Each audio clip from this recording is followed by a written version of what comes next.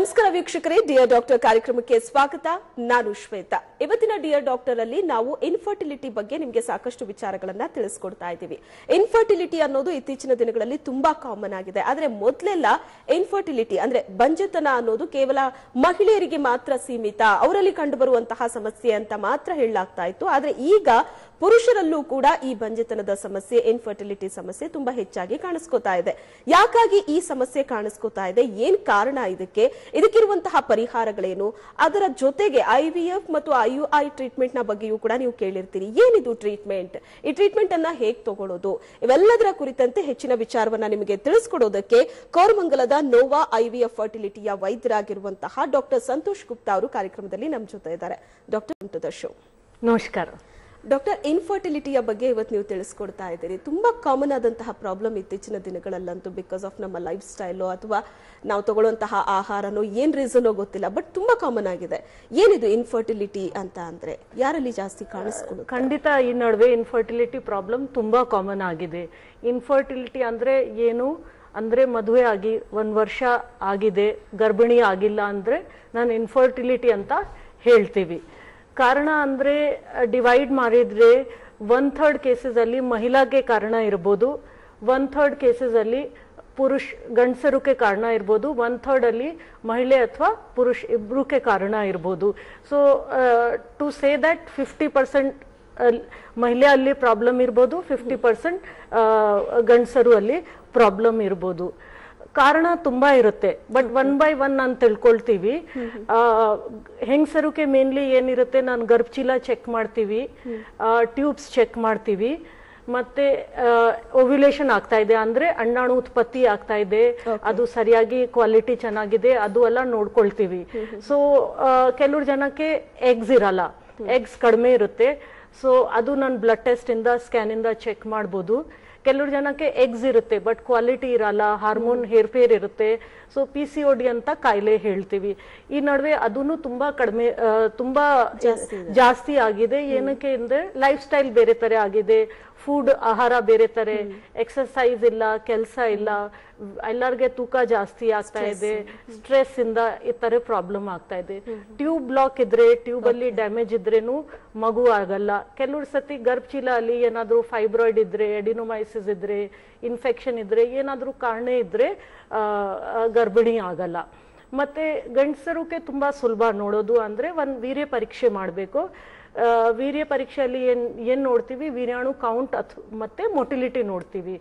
So ವೀರ್ಯಾಣು count ತೀರಾ ಕಮ್ಮಿ ಇದ್ರೆ ಇದರಲ್ಲಿ ಮೊಟಿಲಿಟಿ ಅಂದ್ರೆ ಚಾಲನೆ ಸಾಮರ್ಥ್ಯ ಇಲ್ಲ.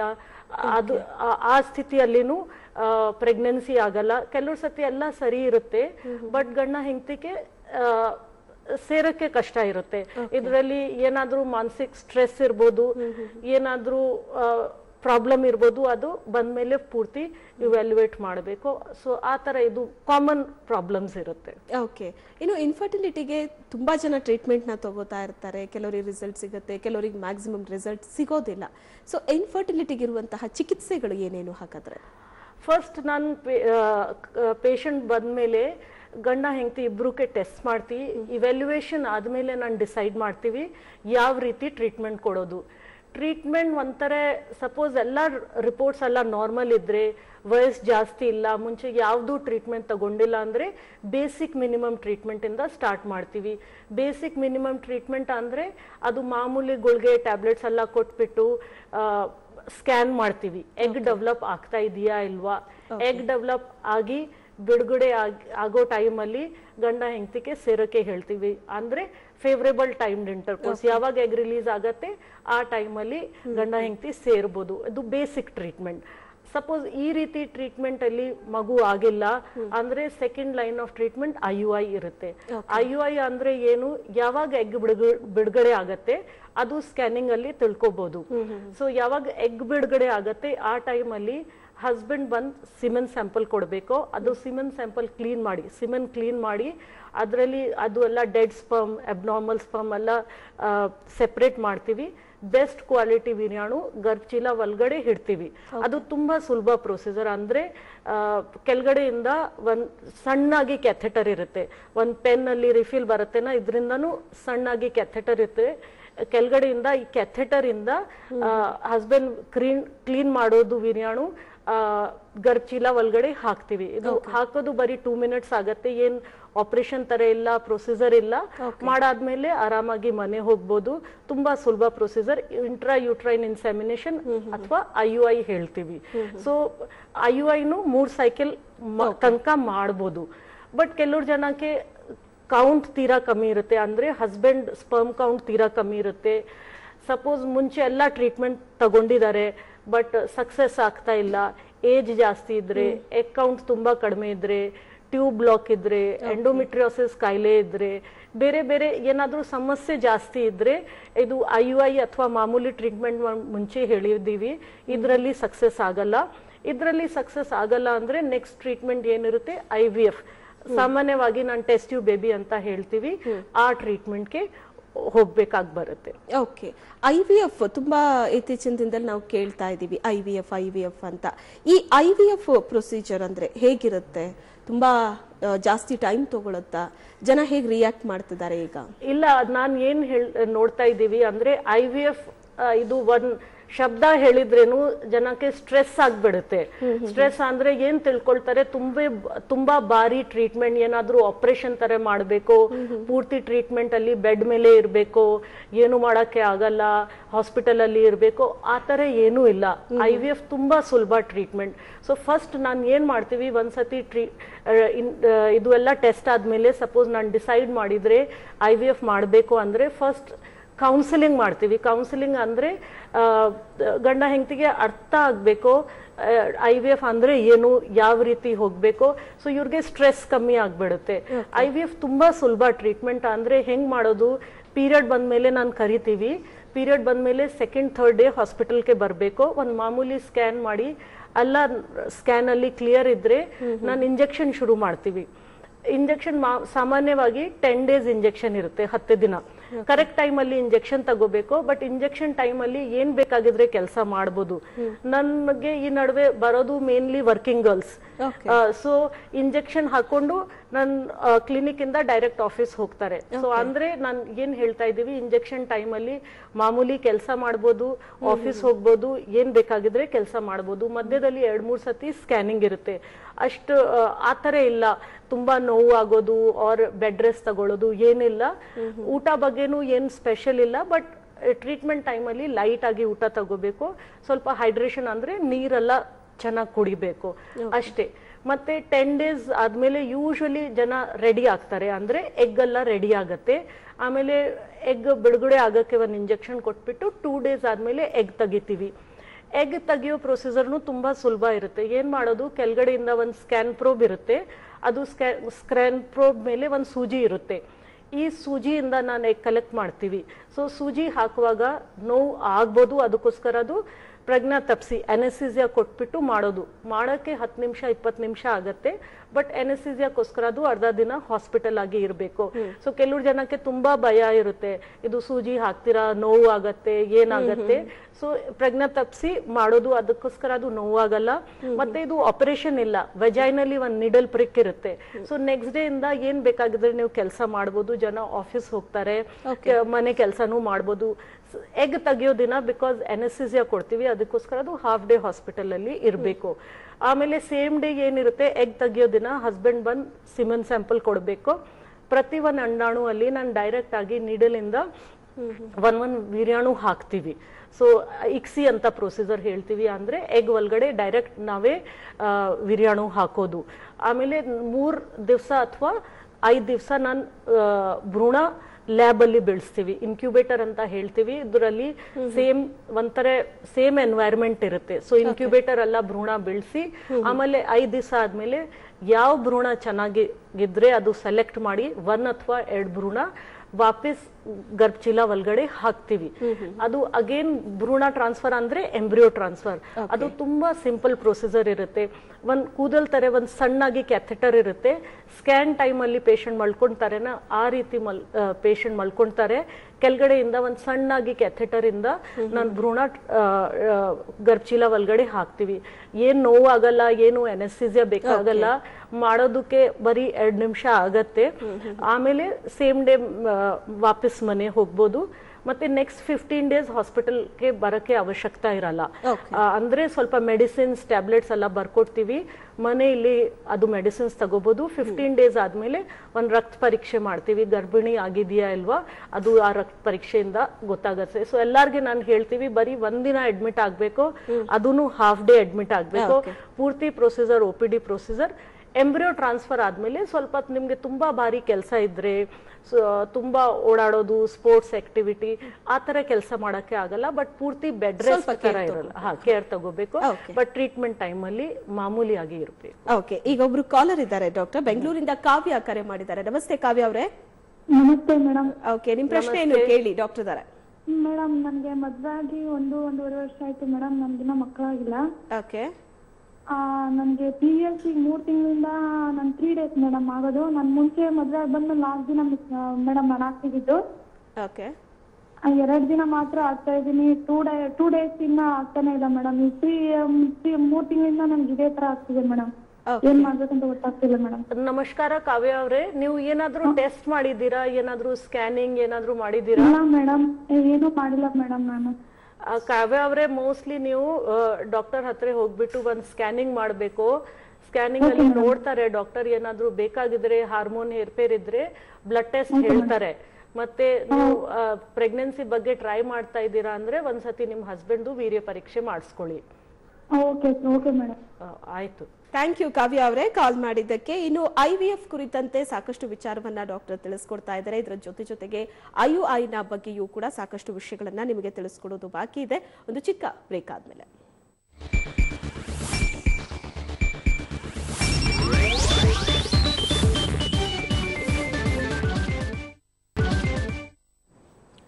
ಬ್ರೇಕ್ನ ನಂತರ ಡಿಯರ್ ಡಾಕ್ಟರ್ ಕಾರ್ಯಕ್ರಮಕ್ಕೆ ಮತ್ತೊಮ್ಮೆ ನಿಮ್ಮೆಲ್ಲರಿಗೂ ಸ್ವಾಗತ. ಇವತ್ತು ಇನ್ಫರ್ಟಿಲಿಟಿಯ ಬಗ್ಗೆ ನಾವು ಮಾತಾಡ್ತಾ ಇದೀವಿ ಈಗ ಬೆಂಗಳೂರಿಂದ ಹರೀಶ್ ಅವರು ಕರೆ ಮಾಡಿದ್ದಾರೆ. ನಮಸ್ತೆ ಹರೀಶ್ ಅವರೇ. ಹಾ, ನಮಸ್ತೆ ಮೇಡಮ್ ಓಕೆ ಡಾಕ್ಟರ್ ತರ ಮಾತಾಡಿ ಸರ್. ನಮಸ್ಕಾರ ಹರೀಶ್ ಹೇಳಿ. ಹ್ಮ್. ಮೇಡಮ್ ಐ ಮಾಡ್ತಿದ್ವಿ. ಹಾ. ಆಗಿಲ್ಲ. ಆಗ್ಲಿಲ್ಲ. ಎಲ್ಲಿ ಏನಾಯ್ತು ಐ ವಿ ಎಫ್ ಟೈಮ್ ಅಲ್ಲಿ ಏನು ಹಲೋ ಹಲೋ? ಹಲೋ ಏನ್ ಟ್ರೀಟ್ಮೆಂಟ್ ತಗೊಂಡಿದ್ರಿ ಹರೀಶ್ ಅವ್ರೆ? ಐ ವಿ ಎಫ್ ಮಾಡ್ತಿದ್ರಿ ಐ ವಿ ಇದ್ ಮಾಡ್ತಿದ್ವಿ. ಆಯ್ತು ನಿಮ್ ಹೆಂಡತಿಗೆ ಎಷ್ಟು ವರ್ಷ ಹೇಳಿ? ಟ್ವೆಂಟಿ ಫೈವ್ ಟ್ವೆಂಟಿ ಫೈವ್ ನಾ ಏನಕ್ಕೆ ಐ ವಿ ಎಫ್ ಮಾಡಿಸ್ಕೊಂಡಿದ್ದೀರಾ? ಎರಡು ಟು ಬ್ಲಾಕ್ ಆಗಿತ್ತು ಮೇಡಮ್. ಟ್ಯೂಬ್ ಬ್ಲಾಕ್ ಆಯ್ತು. C I I V F ಮಾಡಿದ್ರೆ ಕೆಲವ್ರ ಸತಿ ಯಾವಾಗ್ಲೂ ಪ್ರೆಗ್ನೆನ್ಸಿ ಆಗಲ್ಲ. ನೀವು ಬೇಕಾಗಿದ್ರೆ ನಿಮ್ ರಿಪೋರ್ಟ್ಸ್ ಎಲ್ಲ ಸ್ವಲ್ಪ ತಿಳ್ಕೊಬೇಕು. ಏನ್ ಪ್ರಾಬ್ಲಮ್ ಇತ್ತು? ಇವ್ರ ಗರ್ಭಚೀಲ ಸರಿ ಇದೆಯಾ? ಎಗ್ ಅಲ್ಲಿ ಪ್ರಾಬ್ಲಮ್ ಇತ್ತು ಸ್ಪರ್ಮಲ್ಲಿ ಪ್ರಾಬ್ಲಮ್ ಇತ್ತು. ಕೆಲವ್ರ ಸತಿ ಗರ್ಭಚೀಲ ಅಲ್ಲಿ ಏನಾದರೂ ಇನ್ಫೆಕ್ಷನ್ ಇರುತ್ತೆ. ಸೊ ಅದು ಎಲ್ಲ ರಿಪೋರ್ಟ್ಸ್ ನೀವು ತೋರಿಸಿದ್ರೆ ಏನಾದರೂ ತಿಳ್ಕೊಂಡು ಏನಾದರೂ ತಪ್ಪಿದ್ರೆ ಅದು ಸರಿ ಮಾಡಿ ಮತ್ತೆ ಮೂರ್ ಸತಿ ಆಗಿದ್ಯಾ? ಹೌದು ಮೇಡಮ್. ಭ್ರೂಣ ಫಾರ್ಮ್ ಆಗಿದ್ಯಾ ಆ ಟೈಮಲ್ಲಿ ಹ್ಞೂ ಮೇಡಮ್. ನಿಮ್ಮಲ್ಲೇ ಎರಡು ಸತಿ ಮಾಡ್ತಿದ್ದೀನಿ. ಹಾ. ಸತಿ ಮಾಡಿಸಿದ್ದೀನಿ ಅಲ್ಲಿ ಸತಿ ಆಯ್ತು, ಇವಾಗ ತುಂಬಾ ಹೊಸ ತರ ಟೆಸ್ಟ್ ಬಂದಿದೆ. ಅಂದ್ರೆ ಕೆಲವು ಸತಿ ಭ್ರೂಣ ಅಲ್ಲಿ ಫಾಲ್ಟ್ ಇರುತ್ತೆ. ಅಂದ್ರೆ ಫಸ್ಟ್ ನಾನು ಭ್ರೂಣ ಚೆಕ್ ಮಾಡಿ ಹಾಕೋದು ಪಿ ಜಿ ಎಸ್ ಅಂತ ಹೇಳ್ತೀವಿ. ಕೆಲವ್ರ ಸತಿ ಇದು ಗರ್ಭಚೀಲ ರೆಡಿ ಇರಲ್ಲ. ಅಂದ್ರೆ ಎಂಡೋಮಿಟ್ರಿಯಂ ಚೆನ್ನಾಗಿರುತ್ತೆ ಸ್ಕ್ಯಾನ್ ಪ್ರಕಾರ ಬಟ್ ಇದು ರಿಸೆಪ್ಟಿವ್ ಇರಲ್ಲ. ಭ್ರೂಣ ಕಚ್ಕೊಳ್ಳಲ್ಲ ಅಲ್ಲಿ. ಸೊ ಎರ ಅಂತ ಒಂದು ಟೆಸ್ಟಿಂಗ್ ಇರುತ್ತೆ. ಗರ್ಭಚೀಲ ನೋಡಕ್ಕೆ ಎಂಡೋಮೆಟ್ರಿಯಂ ರಿಸೆಪ್ಟಿವ್ ಇದೆಯಾ ಅಲ್ವಾ? ಸೊ ನೀವು ತೋರಿಸಿದ್ರೆ ಅದು ಎಲ್ಲ ಹೇಳ್ಬೋದು. ಇವ್ರಿಗೆ ಭ್ರೂಣ ಟೆಸ್ಟ್ ಮಾಡಿ ಮಾಡ್ಬೋದು ಅಥವಾ ಎಂಡೋಮೆಟ್ರಿಯಂ ರಿಸೆಪ್ಟಿವಿಟಿ ಟೆಸ್ಟ್ ಎಲ್ಲ ಮಾಡಿ ಆಮೇಲೆ ಐ ವಿ ಎಫ್ ಮಾಡ್ಬೋದು. ಓಕೆ ಈಗ ಕೋಲಾರದಿಂದ ಚಂದ್ರಿಕಾ ಅವರು ಕರೆ ಮಾಡಿದ್ದಾರೆ. ನಮಸ್ತೆ ಚಂದ್ರಿಕಾ ಅವರೇ. ನಮಸ್ತೆ ಮೇಡಮ್. ನಮಸ್ತೆ ಚಂದ್ರಿಕಾ ಹೇಳಿ. ಮೇಡಮ್ ನನಗೆ ಡೇಟ್ ಆದಾಗ ನನಗೆ ಫಾರ್ಟಿ ಫೈವ್ ಇಯರ್ಸ್ ಹಾ. ಪೀರಿಯಡ್ ಆದಾಗ ತುಂಬಾನೇ ಬ್ಲೀಡಿಂಗ್ ಆಗುತ್ತೆ ಮೇಡಮ್ ಯಾಕೆ ಅಂತ ಗೊತ್ತಿಲ್ಲ. ಕುತ್ಕೊಳಕ್ಕೂ ಆಗಲ್ಲ, ನಿಂತ್ಕೊಳಕ್ಕೂ ಆಗಲ್ಲ. ಸಿಕ್ಸ್ ಮಂತ್ಸ್ ಇಂದ ಈ ತರ ಆಗ್ತಿದೆ ಮೇಡಮ್ ನೀವು ಸ್ಕ್ಯಾನ್ ಮಾಡಿಸ್ಕೊಂಡಿದ್ದೀರಾ ಚಂದ್ರ, ಚಂದ್ರಿಕಾ ಅವರೇ? ಇಲ್ಲ ಮೇಡಮ್ ಇಲ್ಲ ಮೇಡಮ್ ಕೆಲವರು ಕೇಳಿದ್ರೆ ಕೆಲವರು ಹೇಳ್ತಾರೆ ಇಲ್ಲಿ ಡಾಕ್ಟರ್ ಹತ್ರ ತೋರಿಸ್ದೆ ನಾನು ಹಾ.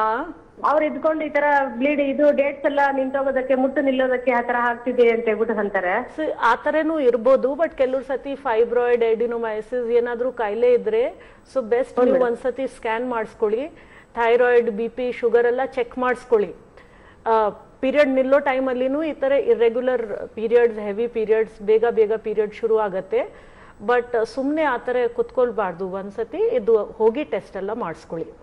ಎಸ್ ಥ್ಯಾಂಕ್ ಯು ಚಂದ್ರಿಕಾ ಅವರೇ ಕಾಲ್ ಮಾಡಿದ್ದಕ್ಕೆ. ಇನ್ನು doctor I V F treatment ಎಷ್ಟು ಸಲ ತಗೋಬಹುದು? ಅದು ಕೂಡ ಬಹಳಷ್ಟು ಜನರ ಪ್ರಶ್ನೆ ಆಗಿರುತ್ತೆ. ಕೆಲವರು ಎರಡು ಸಲ ತಗೊಂಡಿದ್ದೀನಿ ಮೂರು ಸಲ ತಗೊಂಡಿದ್ದೀನಿ ಮತ್ತು ತಗೋಬೇಕಾ ಅಥವಾ ಒಳ್ಳೇದಾ ಕೆಟ್ಟದ್ದಾ ಅನ್ನೋಂಥ ಪ್ರಶ್ನೆ ಇರುತ್ತೆ. ಅದಕ್ಕಿಂತ ಮೊದಲು ಒಬ್ರು ಕಾಲರ್ ಇದ್ದಾರೆ. ಶಾಂತಿ ಅಂತ ಕರೆ ಮಾಡಿದ್ದಾರೆ. ಮೇಡಮ್ ನಮಸ್ತೆ. ನಮಸ್ತೆ ಶಾಂತಿ ಅವರೇ. ಹಲೋ ಹಲೋ ನಮಸ್ತೆ ಶಾಂತಿ ಅವರೇ ಹೇಳಿ.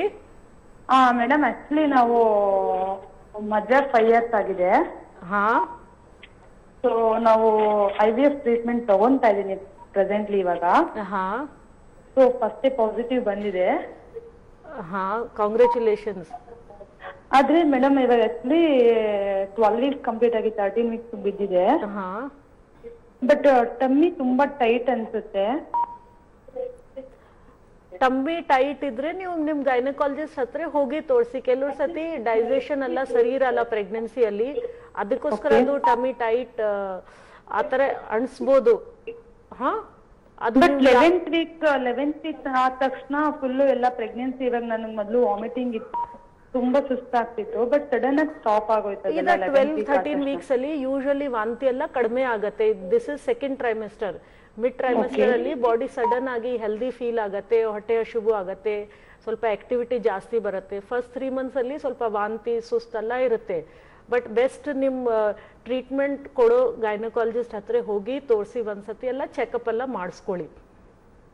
ಥ್ಯಾಂಕ್ ಯು ಮಾ ಕಾಲ್ ಮಾಡಿದ್ದಕ್ಕೆ. ಇನ್ನು I V F I U I ಕುರಿತಂತೆ ಇನ್ನು ಸಾಕಷ್ಟು ವಿಚಾರಗಳನ್ನ ಡಾಕ್ಟರ್ ತಿಳಿಸ್ಕೊಡ್ತಾರೆ. ನೀವು ಕೂಡ ಕರೆ ಮಾಡಬಹುದು ನಿಮ್ಮ ಪ್ರಶ್ನೆಗಳನ್ನ ಕೇಳಬಹುದು ಡಾಕ್ಟರ್ ಹತ್ರ ಉತ್ತರವನ್ನ ಪಡಿಬಹುದು ಒಂದು ಚಿಕ್ಕ ಬ್ರೇಕ್ ಆದ್ಮೇಲೆ ಕಾರ್ಯಕ್ರಮ ಮುಂದುವರಿಯುತ್ತೆ.